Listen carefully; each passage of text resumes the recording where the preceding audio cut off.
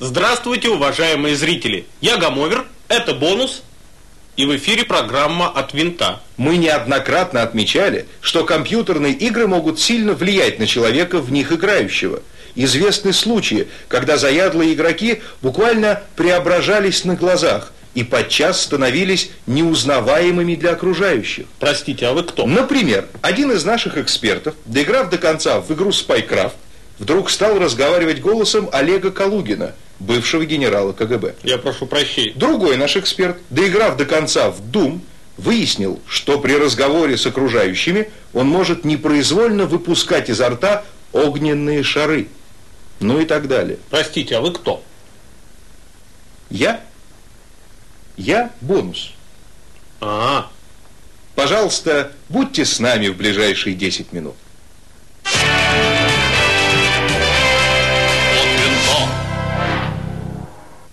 Нашу программу открывает игра, которая является продолжением знаменитой экстатики. эта игра так и называется. Экстатика 2. А, кстати, кто вы такой? Это так и переводится. Экстатика 2. Итак, вторая экстатика. Создатели игры обещали превзойти первую серию и, похоже, сдержали свое обещание. По их утверждению, в экстатике 2 вы встретите 8 новых смертельных видов оружия. А какие еще виды оружия встречаются? Неважно, два новых смертельных заклинания и более 60 новых смертельных врагов, у которых одна цель в жизни – поскорее изничтожить вас, то есть игрока. Но у вас есть еще одно смертельное оружие против этих нелюдей. Кнопочка Save Game. Да, итак, монстры. Они необычайно разнообразны, как по виду, так и по повадкам и образу жизни. В игре встречаются зеленые человекоподобные монстры, обезьяноподобные монстры, змееподобные монстры, мерзкие карлики с молотками, ну и так далее. Создатели игры сумели оживить даже несколько статуй, которые тоже не применут на вас напасть.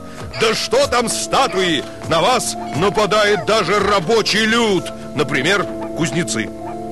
Да, рабочему люду иногда свойственна некоторая агрессивность. Но больше всего вам досаждают отвратительные пауки, быстро ползающие там и сям и жалящие вас в самый неподходящий момент. Один из наших экспертов, сыграв в экстатику 2, даже заболел тяжелой формой арахнофобии. Но вернемся к игре. Сюжет ее традиционен. У главного героя, который, кстати, со времен первой экстатики обзавелся косичкой, нагло крадут из-под носа его же гелфренд. Кого крадут? Ну, близкую подругу. Герой, естественно, бросается мстить за нее. Вот вкратце весь сюжет. Э, а как же спасать? Кого? Ну, вот, э, girlfriend. Кого? Ну, э, близкую подругу. А, ну, спасать это дело второе. Главное, как следует за нее отомстить, чтобы им неповадно было. И вот, руководствуясь в основном чувством мести, главный герой убивает первого монстра, за ним второго монстра и понеслось. Игра сделана по так называемой эллипсоидной технологии, что позволит вам наблюдать персонажей игры более чем с 1100 точек, где как бы расположены виртуальные камеры. В Экстатике 2 герой может не только ходить, бегать, прыгать и пятиться, но и плавать, и даже весьма удачно драться прямо в воде. Движения персонажей в воде сделаны так реалистично, что некоторые наши эксперты, попадая в воду, забывают о великом чувстве мести и начинают купаться и плещутся себе вдоволь, пока эту пляжную идиллию не нарушит какой-нибудь монстр.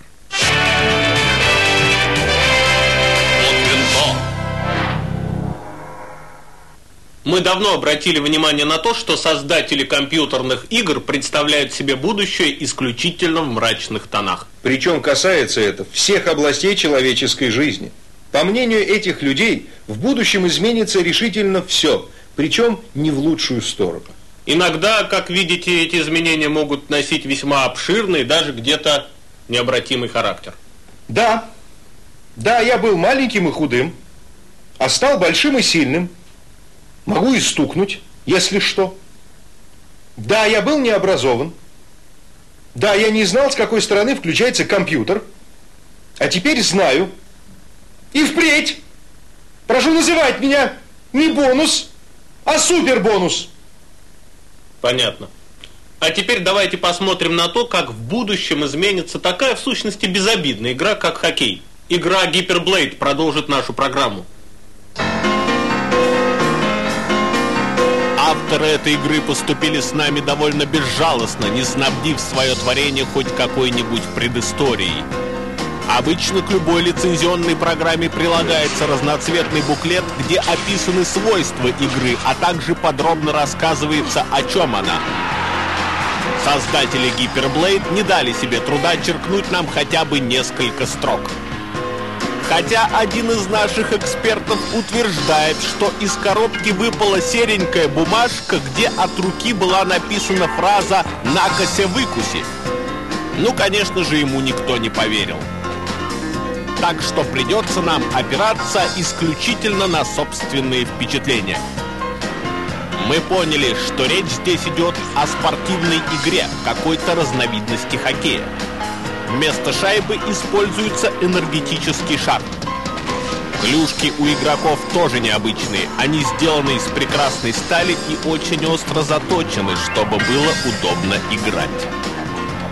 По стадиону там и сям разбросаны ловушки, всевозможные мельницы смерти и разрезалки пополам. Как тут не вспомнить стихотворение «Шел я мимо пилорам, дальше шел я пополам».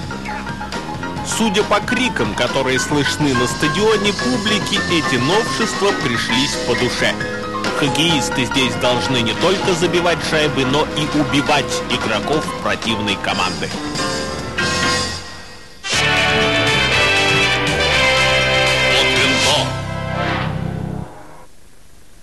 Последняя игра нашей сегодняшней программы весьма своеобразна. Дело в том, что она выполнена в жанре ретро-фьючер. Это означает, что в прошлое были перенесены некоторые предметы и понятия, которых там быть заведомо не могло. Ну, например, компьютер. Понимаете, то есть их там быть не могло, но если бы они там были, они бы выглядели так, как э, выглядят э, в игре. Ну а поскольку их тогда не было, то они выглядят так, как э, выглядят сейчас. Надеюсь, я понятно объяснил? В общем, эта игра называется «Гаджет».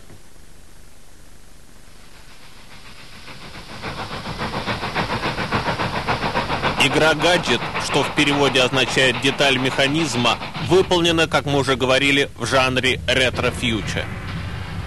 Мир, в котором обитают персонажи игры, напоминает Англию 20-30-х годов этого столетия – Однако, в отличие от реальной Великобритании, он изобилует техническими приспособлениями, появившимся значительно позже, компьютерами, телевизорами и тому подобным.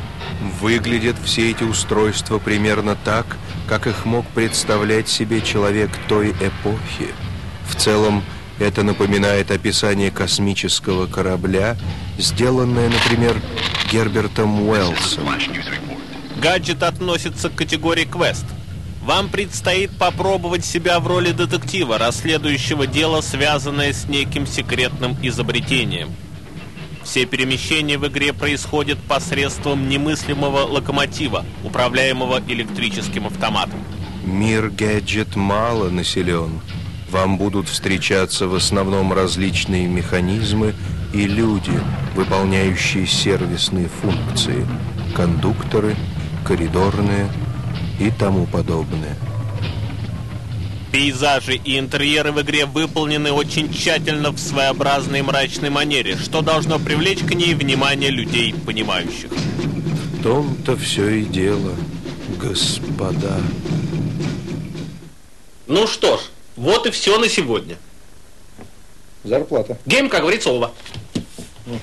Куда? Куда? Все.